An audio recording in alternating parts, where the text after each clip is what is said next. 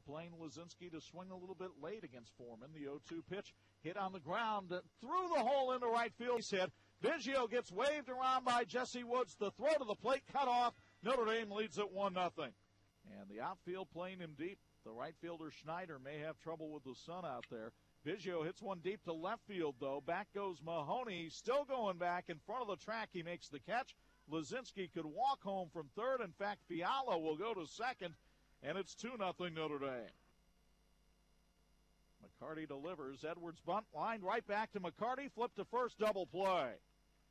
So Edwards bunts it in the air, and Nick McCarty fields his position well.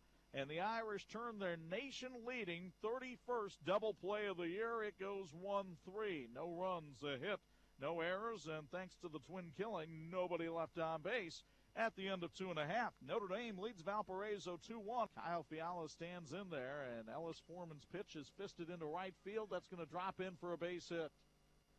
So Fiala continues to be a tough out engage. Gage. Kutsulis hard ground ball fair down the right field line. That's going to go for extra bases. Here comes Fiala. He'll score. Kutsulis jugs to second with an RBI double. It's 3 1 Notre Dame. Flaherty with a short lead over at first. Richards with the Butcher Boy lines it into center field, a base hit. Flaherty rounds second and heads for third as Manning has problems picking it up. And Notre Dame has runners at the corners after they execute the old Butcher Boy play. Richards showing bunt, pulling the bat back, and lining one up the middle for a base hit. Mac, no batting gloves on those hands as his feet go back and forth in the box. It's a bunt up the first base side. The pitcher looks at home, now throws to first and does get Hudgens. And the squeeze brings home a run. The Irish lead at 4 1.